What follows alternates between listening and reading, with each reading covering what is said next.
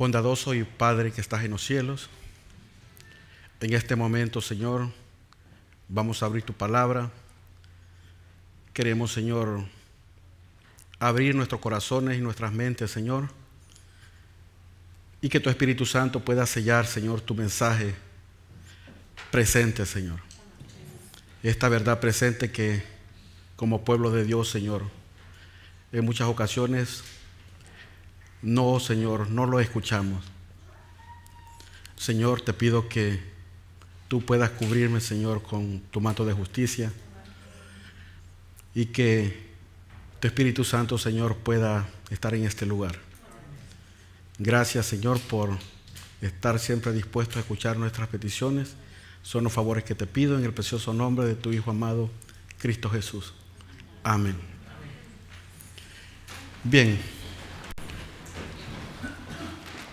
En esta mañana quiero decirles que la salvación es totalmente personal. En el transcurso de los tiempos siempre Satanás ha tratado de intervenir entre aquellas personas que tratan de buscar la salvación, atacando a personas santas, eh, profetas y todo.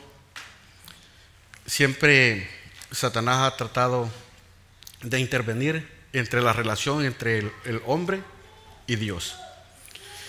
Y me llama tanto la atención en la cita de, de las Sagradas Escrituras lo que Dios le muestra en visión a Ezequiel.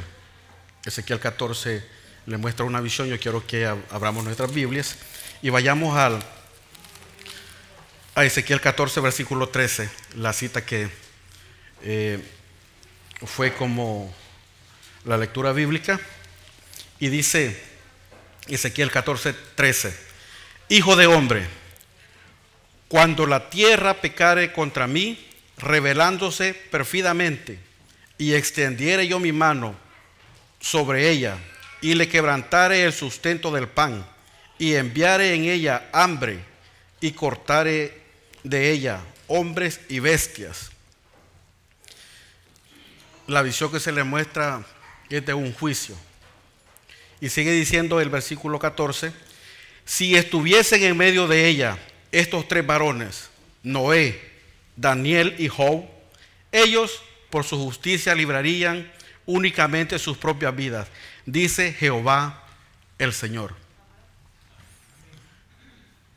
Noé tenía hijos. Eh, Job tenía hijos. Sí. Pero vea lo que dice el, el, capítulo, el versículo 14. Si estuvieran en medio, dice, de él, estos tres hombres, Noé, Daniel y Job, solo ellos por su justicia librarían su vida, dice Dios el Señor. Versículo 15. Y si hiciere pasar bestias feroces por la tierra y la asolaren y quedare, dice, desolada, de modo que no haya quien pase a causa de las fieras. Y estos tres varones estuviesen, dice, en medio de ella. Vivo yo, dice Jehová el Señor. Ni a sus hijos ni a sus hijas librarían. Ellos solo serían librados y la tierra quedaría desolada. Interesante mensaje. Tiene que ver mucho con tiempo del fin, la cual como pueblo de Dios los estamos acercando. Llama la, la atención cómo estos hombres teniendo familias, y dice Jehová, solamente ellos serían librados. Y quiero que vayamos a Génesis y vamos a ver este, lo que Noé, vamos a estudiar lo, referente a lo que es a la historia de Noé, y dice que Noé hizo todo. Una de las características de, de este varón, siervo de Dios, dice que Él hizo todo. Génesis 6.9 dice así, Noé, varón justo, era perfecto en sus generaciones, con Dios caminó Noé. Y sigue diciendo en capítulo 6, versículo 22, y lo hizo así Noé, hizo conforme a todo lo que Dios mandó. Y sigue diciendo, capítulo 7 y versículo 5, e hizo Noé conforme a todo lo que Jehová mandó. Vea qué interesante. Era tanta la relación de Noé con Dios, era que él escuchaba lo que Dios decía. Una relación tan íntima que él obedeció. En muchas ocasiones, ¿cómo nosotros podemos escuchar la voz de Dios? O el mensaje que Dios está dando para nosotros. A través de las Sagradas Escrituras tenemos lo que Dios quiere que nosotros como hijos de Dios quiere que nosotros hagamos. Dice que Noé hizo todo. Y yo quiero que vayamos a Hebreos, Hebreos 11, 7. Hebreos 11, 7. Dice la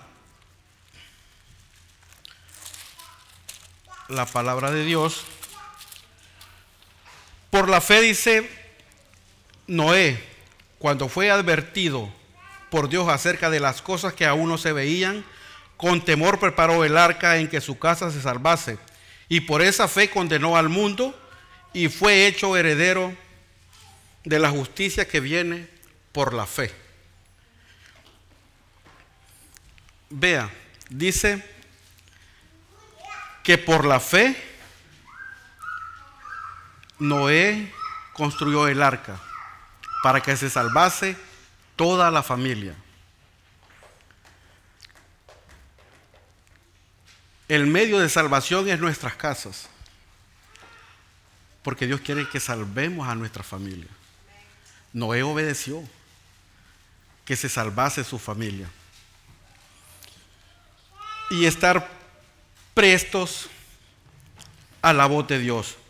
Romanos 17:10 dice la palabra de Dios. Así que la fe es por el oír y el oír la palabra de Dios. ¿Por dónde viene la fe? Dice, por el oír y el oír la palabra de Dios. ¿Qué lo quiere decir? Que tenemos que estudiar mucho, orar, escuchar el mensaje que Dios tiene para nosotros. El mensaje presente que como iglesia tenemos que predicar. En muchas iglesias no se, no se predica.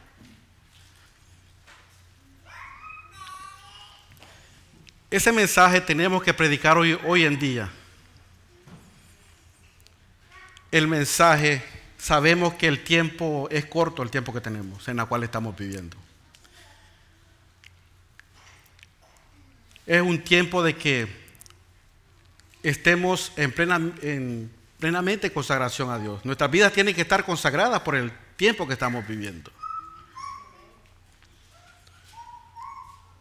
Y quiero, eh, la sierva de Dios dice, cuando Noé proclamó su mensaje de advertencia, algunos lo escucharon y cooperaron con él en la construcción del arca pero no dice perseveraron, predominaron en ellos las influencias perversas y así se desviaron de la verdad para convertirse en burladores. Así será, dice, en los últimos días de la historia de este mundo. Aquellos que escuchen hoy el mensaje de verdad, pero no lo crean, caerán envueltos en la infidelidad moral, como en aquellos que en los días de Noé permanecieron firmes hasta el fin de su tiempo de gracia. Hoy es el momento, dice. Hoy. Escuchar el mensaje de verdad, la verdad presente. Y sigue diciendo,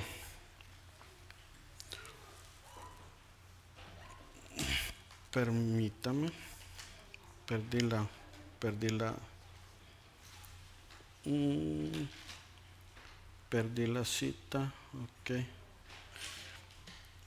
Cuando el Señor dice, cuando el Señor pague a cada uno conforme a sus obras, entonces estos comprenderán que Dios es verdad y que el mensaje divino habría sido la vida y la salvación de ellos si tan solo hubieran aceptado la evidencia ofrecida y puesto en práctica las condiciones especificadas.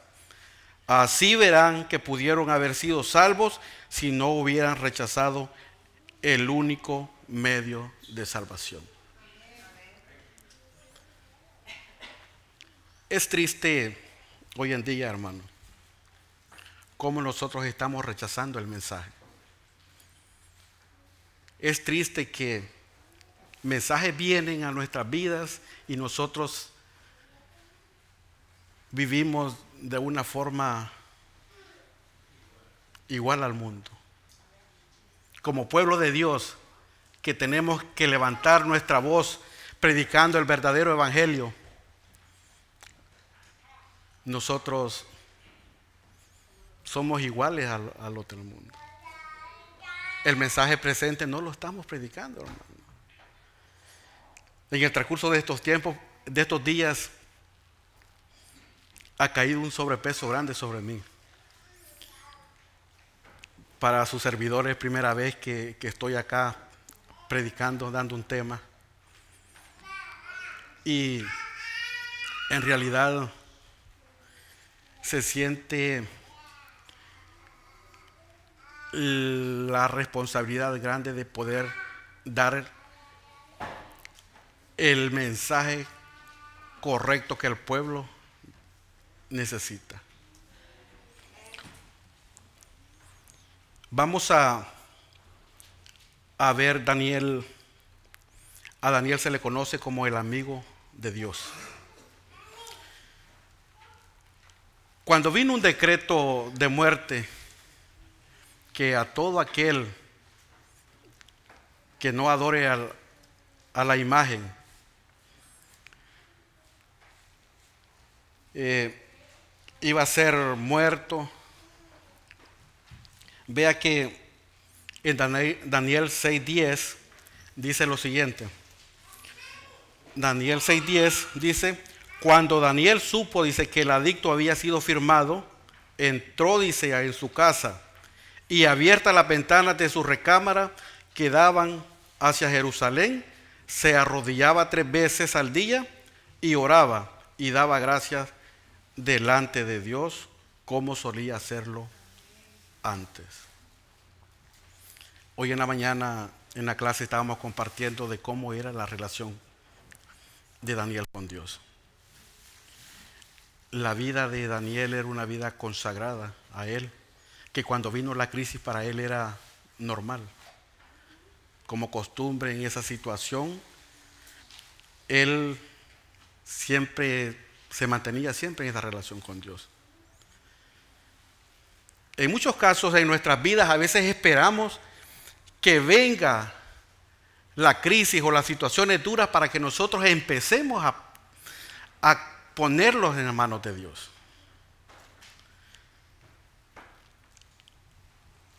En muchas ocasiones yo he platicado con, con hermanos, hablamos del decreto de ley dominical que va a ser afirmada y todo, pero en verdad nosotros no ponemos eh, o no tomamos eh, conciencia de la situación en la que estamos viviendo y no queremos consagrar nuestra vida.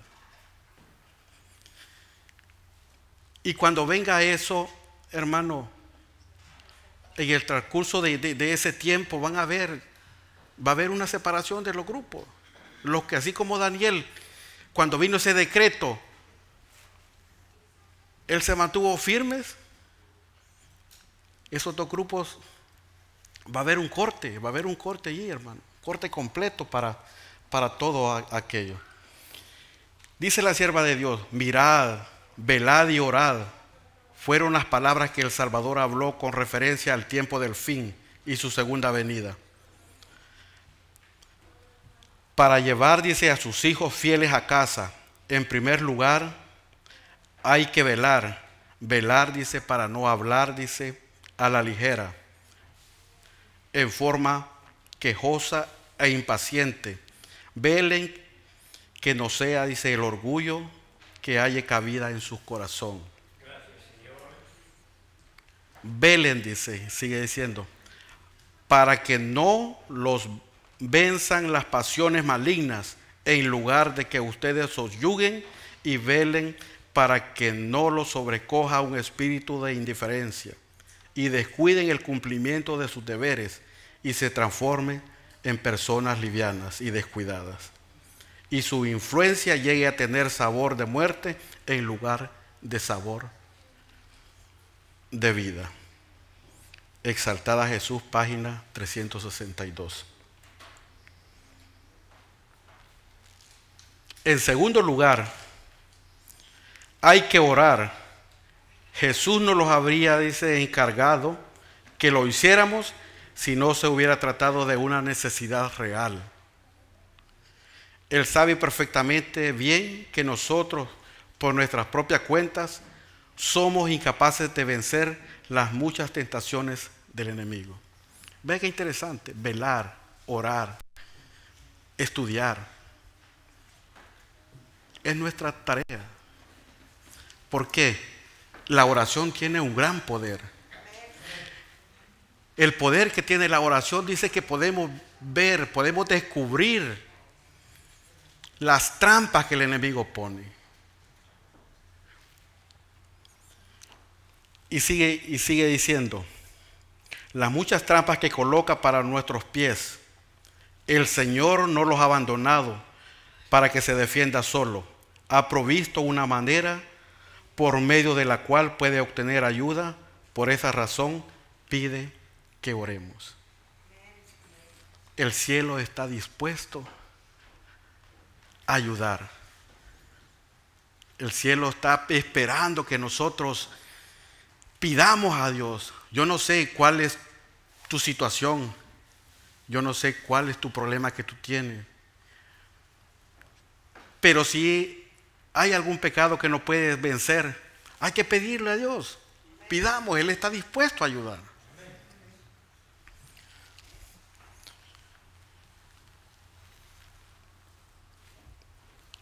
Dice, eh, el día tiene 24 horas.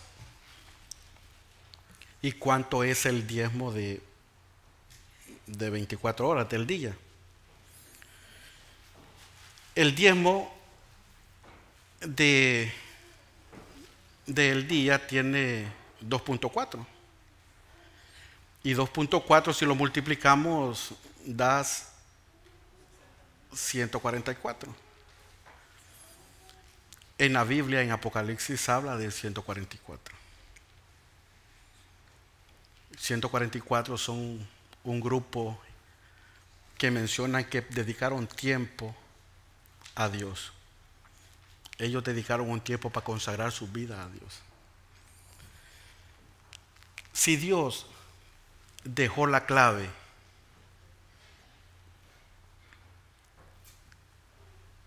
para que nosotros podamos también formar parte de ese grupo. Allí tenemos, acá tenemos la clave, dedicar tiempo al estudio a la palabra de Dios.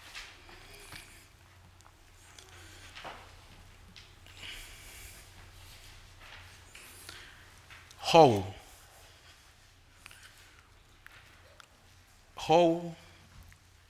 Varón fiel.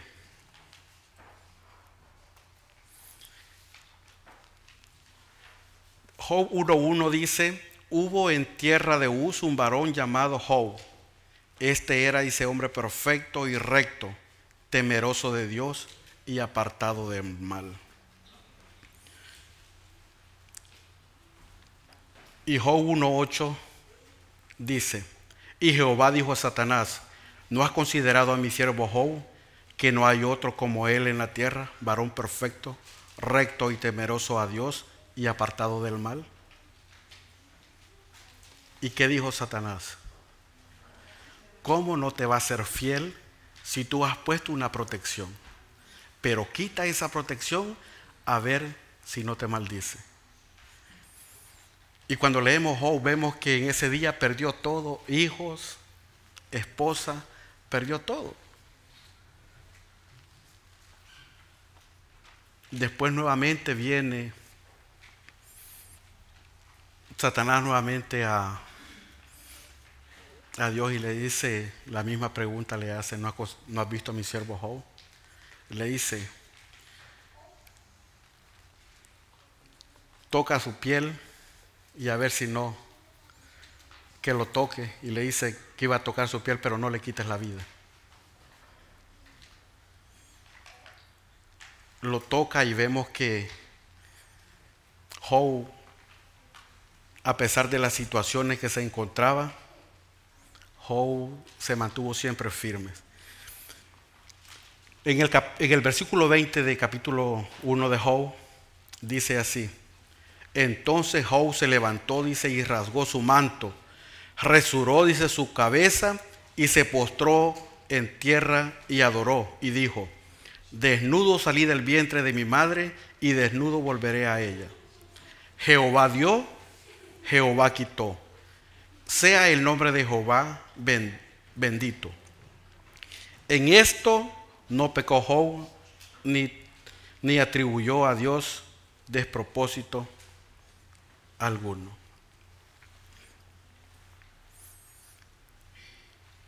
Vea, Job fue tratado conforme su fe. Dice la sierva de Dios, Job fue tratado conforme con su fe. Me probará, dijo, y saldré como oro. Job 23:10. Así ocurrió por medio de su paciente resistencia, vindicó su propio carácter y de ese modo el carácter de aquel de quien era representante. Y quitó Jehová la aflicción de Job y aumentó el doble de todas las cosas que habían sido de Job. Y bendijo a Jehová el postrero estado de Job más que el primero. Digo una cosa. Si, a Job se le dio el doble, ¿cómo cree que los 144 se le va a dar? Se le va a dar todo. Van a ser tratados conforme, conforme la fe. Se le va a dar todo, hermano. Y van a poder indicar, vindicar el carácter y el carácter de Dios a quien representa.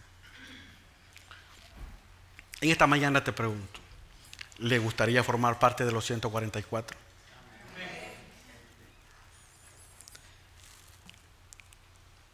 Apocalipsis 14.2. Apocalipsis 14.12 dice así, aquí está la paciencia de los santos, los que guardan los mandamientos de Dios y la fe de Jesús. Los 144 van a ser pacientes. 144 mil. Apocalipsis 7 también dice las Sagradas Escrituras, después de esto vi a cuatro ángeles en pie sobre los cuatro ángulos de la tierra, que detenían los cuatro vientos de la tierra para que no soplase viento alguno sobre la tierra, ni el mar, ni sobre ningún árbol. Vi también, dice a otro ángel, que subía de donde sale el sol y tenía el sello del Dios vivo. ¿De qué lugar sale el sol? Del oriente. En muchas ocasiones se ha preguntado por qué sale del oriente. es porque allí se encuentra la santa ciudad, la nueva Jerusalén. Y sigue, y sigue diciendo, y tenía el sello del Dios vivo, y clamó a gran voz a los cuatro ángeles, a quienes se les había dado poder de hacer daño a la tierra y al mar. La tierra, el mar, sabemos que en las profecías significan gentes, multitudes, y árboles también a personas.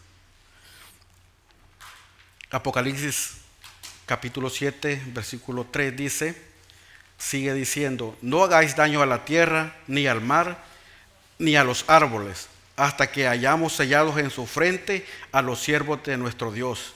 Y oíd el número de los sellados, 144 mil sellados de todas las tribus de los hijos de Israel. 144 mil sellados.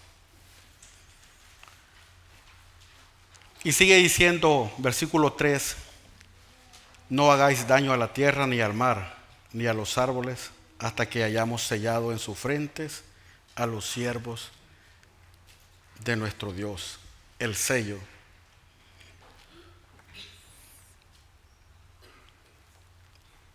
Apocalipsis 14, versículo 1.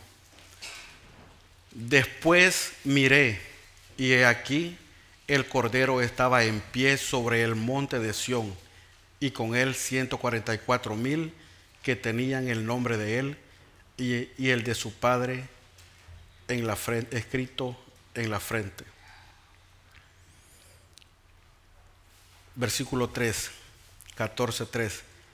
Y cantaban un cántico nuevo delante del trono y delante de los cuatro seres vivientes y de los ancianos, que nadie podía aprender por qué nadie podía comprender ese canto.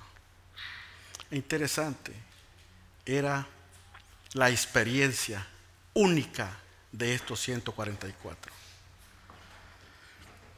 En la clase comentaba también el canto del Cordero y el canto que el pueblo de Israel pasaron cuando cruzaron el mar, que dice el canto de Moisés era el canto de su experiencia por la cual habían sido liberados por Dios. Esa experiencia única que tenían los llevaba a que alabaran el nombre de Dios. Y solamente ellos podían cantarlo porque era la experiencia personal de cada uno de ellos.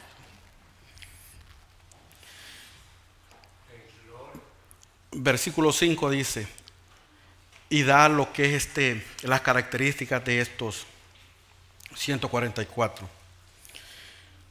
Dice, y el cántico de aquellos 144 mil que fueron redimidos de entre los de la tierra. Y aquí vienen las características. Y en su boca no fue hallada mentira, pues son, dice, sin mancha delante del trono de Dios. ¿Quiénes son? ¿Quiénes son esos 144 mil? Y sigue diciendo Apocalipsis capítulo 7, 3. Entonces uno de los ancianos habló diciendo, estos que están vestidos de ropas blancas, ¿quiénes son y de dónde han venido? Yo le dije, Señor, tú lo sabes. Y él me dijo, estos son los que han salido de la gran tribulación y han lavado sus ropas y las, han emblanquecido en la sangre del Cordero. ¿Quiénes son ese?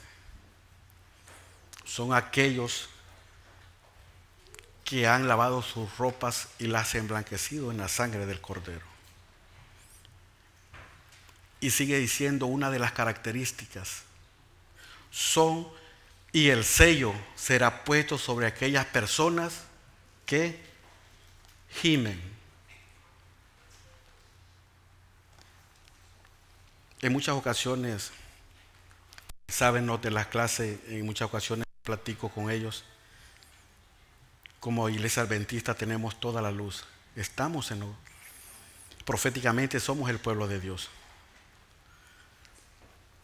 Y no por ser por ser adventistas, le digo, no todos los vamos a salvar. No solo por estar hoy el día sábado, vamos a ser salvos. En el transcurso del desarrollo de, este tema, nos vamos a dar cuenta de cómo Dios en el transcurso de, la historia los, los amonesta en la forma como nosotros podemos, podemos este, estar viviendo. Y una de las características es las personas en quienes van a recibir ese sello. Y déjeme decirle, proféticamente el sello está siendo puesto ya dentro del pueblo de Dios. Yo quiero que vayamos a segunda de Timoteo 3:12. Segunda de Timoteo 3:12 dice, y también todos los que quieren vivir piadosamente en Cristo Jesús padecerán persecución.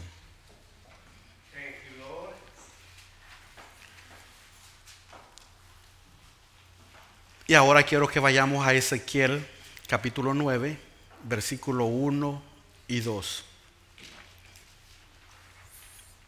Ezequiel 9, 1 y 2 dice, clamó en mis oídos con gran voz diciendo, los verdugos de la ciudad han llegado y cada uno trae en su mano un instrumento para destruir. Y he aquí que seis varones venían del camino de la puerta de arriba, que mira hacia el norte, y cada uno traía en su mano su instrumento para destruir. Y entre ellos había un varón vestido de lino, en cual traía en su cintura un tintero de escribano. Y entrando, entrándose, y la gloria del, Dios de Israel se elevó de encima del querubín, sobre el cual había estado el, el umbral de la casa, y llamó a Jehová al varón vestido de lino, que tenía en su cintura el tintero de escribano, y dijo, Jehová, pasad por en medio de la ciudad, por en medio de Jerusalén, y ponles una señal en su frente a los hombres que gimen y que claman a causa de todas las abominaciones que se hacen en medio de ella. ¿Quiénes van a ser sellados? Los que gimen, los que oran. Personas, hermanos, que están orando y orando por ver las cosas que están pasando dentro de la iglesia. Entristecidos que el mensaje que se tiene que dar dentro de la iglesia no se está dando como tiene que darse. Personas que con pesar ven con claridad las cosas que, están pasando. Y a ellos les duele, les da pesar por las cosas que acontecen dentro de la iglesia. Dice la sierva de Dios, los que reciben la marca pura de la verdad, desarrollada en ellos por el poder del Espíritu Santo y representada por el sello del hombre vestido de lino, son los que gimen y que claman a causa de todas las abominaciones que se hacen en la iglesia. Su amor por la pureza y el honor y la gloria de Dios es tal y tienen una visión tan clara del, del carácter excesivamente pecaminoso, del pecado que se los presenta, agonizando, suspirando y llorando. Y sigue diciendo, en el tiempo en que su ira se manifieste con castigos, estos humildes y consagrados discípulos de Cristo se distinguirán del resto del mundo por la angustia de sus almas expresadas en lamentaciones y lloros, reproches y amonestaciones, mientras que los otros procuran, dice, arrojar un manto sobre el mal existente y excusar la gran impiedad que prevalece por doquiera. Los que tienen celo por el honor de Jehová y amor por las almas no callarán para obtener favor humano. Es duro, mi hermano. Es duro el mensaje. estas personas van a tener tan claras las cosas. Dice, todas las cosas que pasen, para ellos va a ser, van a poder distinguir bien las cosas malas que se están dando dentro del...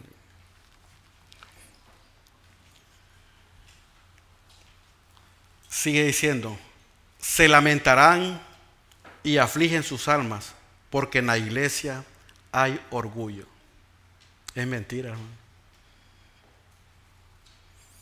Hay avaricia, egoísmo, engaños de casi toda clase de espíritu de Dios que inspira, dice, la reprensión es pisoteada mientras triunfan los siervos de Satanás, Dios queda deshonrado y la verdad anulada.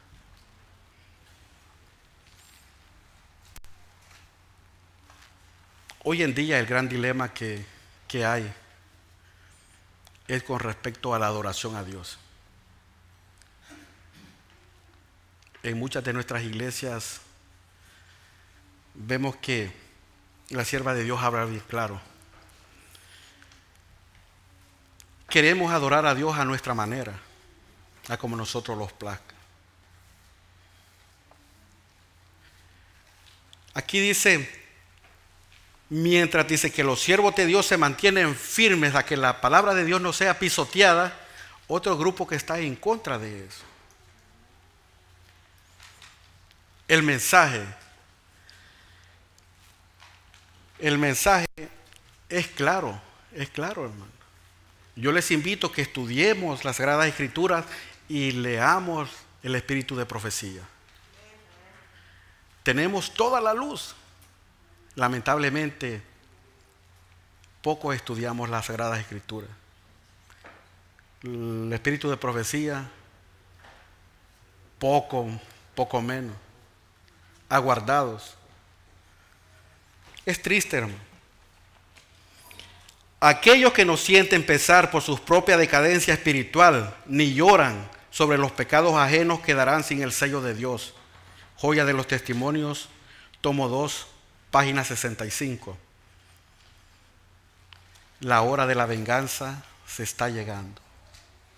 Apocalipsis 7 habla de los cuatro ángeles que están sosteniendo los, los vientos, las crisis terribles.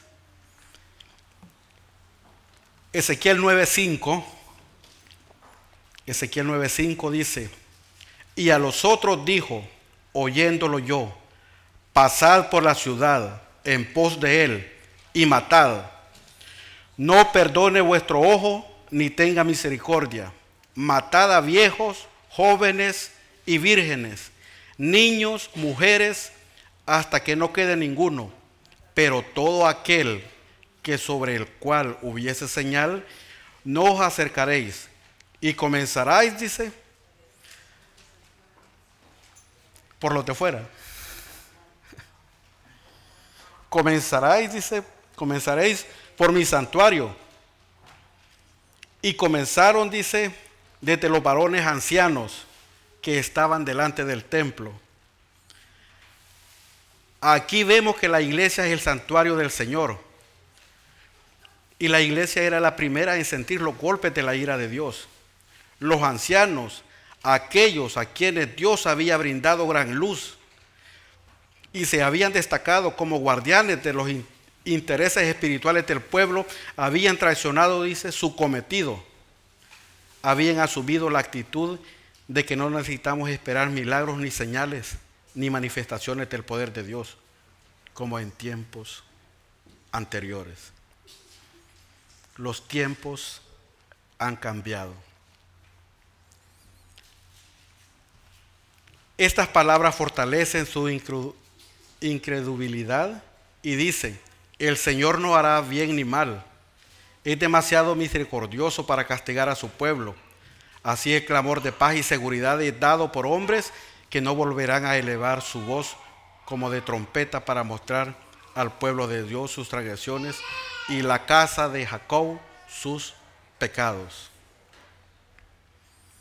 Y es triste es triste, Como pueblo adventista tenemos una gran luz. Pero después de tener esa luz, no vamos a este tiempo en el cual nosotros teníamos que estar dando la palabra de Dios, el mensaje correcto, no lo hacemos. Y me duele, me duele tocar esta cita que se encuentra en Joya de los Testimonios, tomo 2, página 65, dice, estos perros mudos que no querían ladrar son los que sienten la justa venganza de un Dios ofendido. Hombres, jóvenes y niñitos, todos perecen juntos.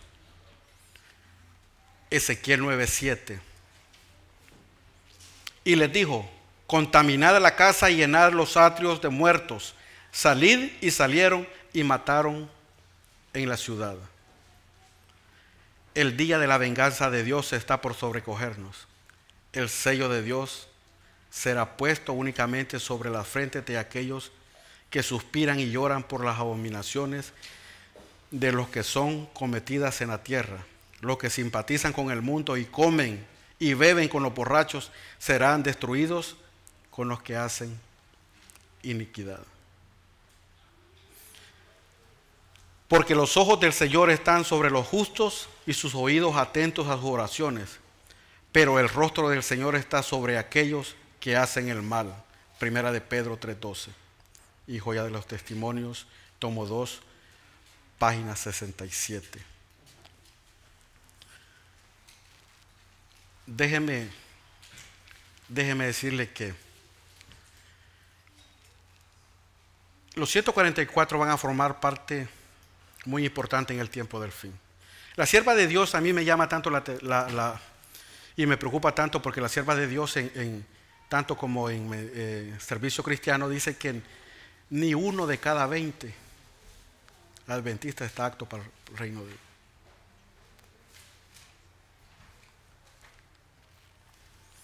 Es triste, hermano. Pero en el tiempo, cuando nosotros queramos levantar nuestra voz y predicar del Evangelio va a ser demasiado tarde para nosotros que hemos tenido esa gran luz. En ese tiempo las personas, el tiempo de gracia va a ser quitada sobre nosotros. Pero para todas aquellas personas que no han conocido la verdad, dice que van a ver la luz con tan claridad que van a estar dispuestos hasta dar su vida por ella.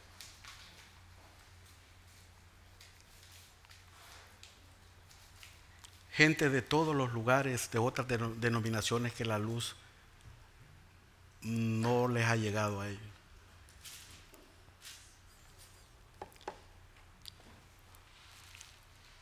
Ezequiel 9:8. Aconteció, dice que cuando ellos iban matando y quedé yo solo, me postré sobre mi rostro y clamé y dije, oh Señor Jehová, destruirás a todo el remanente de Israel derramando su furor de Jerusalén. Dice, la sierva de Dios dice que cuando ella vio y buscó el pueblo de Dios, no lo vio. Después de eso, yo estaba queriendo encontrar una cita y le dije al hermano Pedro que si la podía, la podía conseguir. Después nuevamente la sierva de Dios tiene una, tiene una visión donde dice que todas sus ovejas, dice, habían sido desparcidas. Y cuando vio, dice, una oveja iba saliendo por un lugar y otro, sola sin su pastor. No todos, dice, los que profesan observar el sábado serán sellados. Aún entre los que enseñan la verdad a otros, hay muchos que no recibirán el sello de Dios en sus frentes. Tuvieron, dice, la luz de la verdad, conocieron la voluntad de su maestro y comprendieron todo el punto de nuestra fe, pero no hicieron las obras correspondientes. Los que conocieron también la profecía y los tesoros de la sabiduría divina deberían de haber actuado de acuerdo con su fe debieran haber mandado a sus familias tras sí para que por medio de su hogar bien ordenado pudiesen presentar al mundo la influencia de la verdad sobre el corazón humano. En mensajes selectos, la sierva de Dios ve eh, una visión de un hogar donde dice que había tanta luz en este, en este hogar, pero no vivían como tenían que vivir una vida consagrada a Dios. El ángel retirándose de la casa dice llorando, mientras que dice unas densas tinieblas invadían la casa. El Espíritu de Dios se retira de nuestros hogares. Porque nuestra casa es el medio por la cual nosotros podemos alcanzar a nuestra familia, nuestros hijos.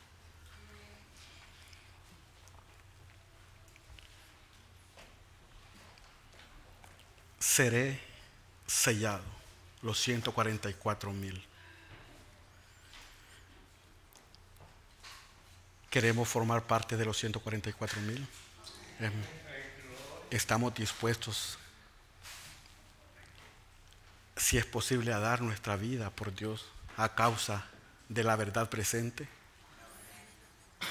Si este es nuestro mayor deseo y anhelo, yo quiero invitarte que te pongas de pie para tener palabras de oración.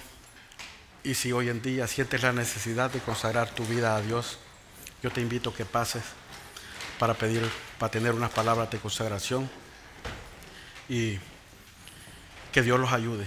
Vienen tiempos peligrosos en la cual nosotros estamos pasando desapercibidos. Es tiempo hoy y la salvación solo se encuentra en tiempo presente, hoy. Todos aquellos que escuchan el mensaje, hoy. Así es que le voy a pedir a mi hermano Pedro que venga y que nos pueda dirigir una oración de consagración al